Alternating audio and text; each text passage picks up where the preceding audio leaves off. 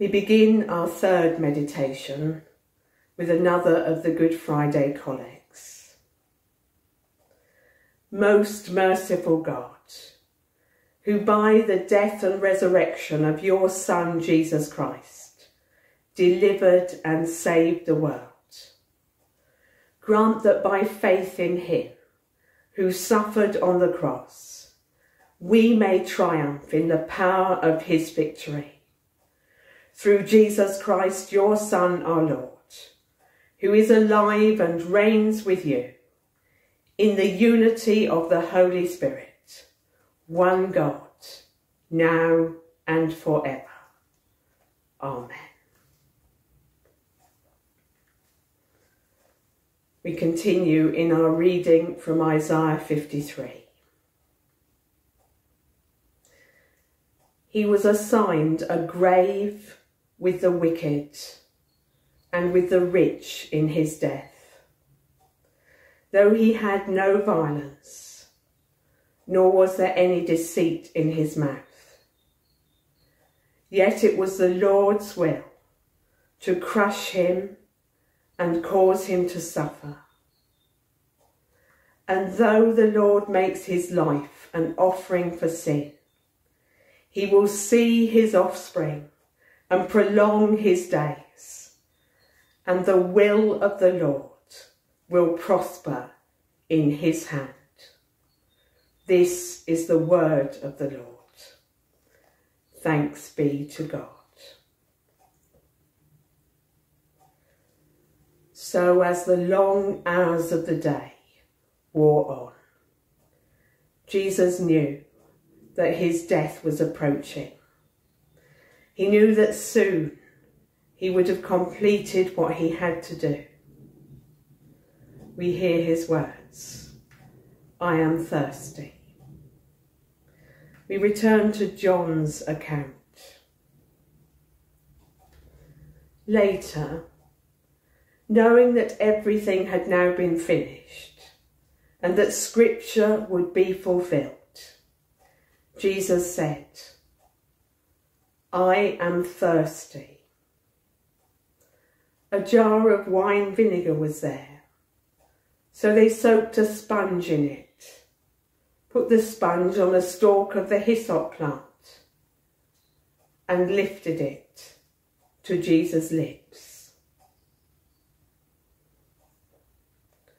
Lord, we pray for those who are thirsty today for those who live in lands that are parched and dry, for those who in illness feel the pain of thirst, and for those who are thirsty in their souls. We pray for those enduring war in Ukraine and in so many other parts of the world who are being deprived of life's most basic and essential needs.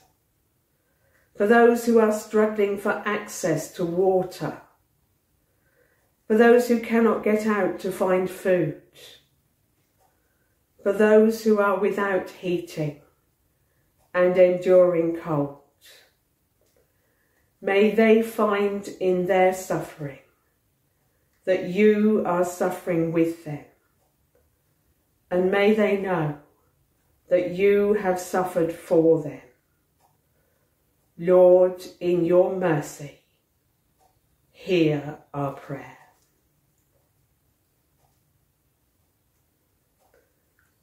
And Jesus' words, it is finished. I read a short sentence from John's Gospel. When Jesus had received the drink. He said, It is finished. With that, he bowed his head and gave up his spirit. Almighty God, we pray for the grace and strength to complete the tasks you have given us to do, to complete them without grudging or complaint always drawing our strength from you. we pray especially for all those who need added grace and strength at this time of war. We pray that you will give us grace and strength to continue in our prayer. We pray that you will give grace and strength to those who are seeking to bring relief at this time, to those who are suffering the greatest hardship. We pray that you will grant courage and endurance to those who are living in the midst of the intolerable suffering that war brings in its wake. We ask these things in the name of Jesus, who for the sake of what lay before him endured the cross, despising its shame, and is seated now at God's right hand. Lord, in your mercy, hear our prayer.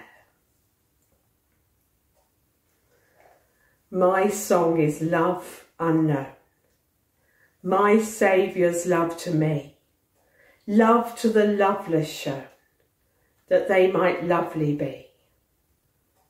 Oh, who am I, that for my sake my Lord should take frail flesh and die. He came from his blessed throne, salvation to bestow. But men made strange, and none the longed for Christ would know. But oh, my friend, my friend indeed, who at my need his life did spend.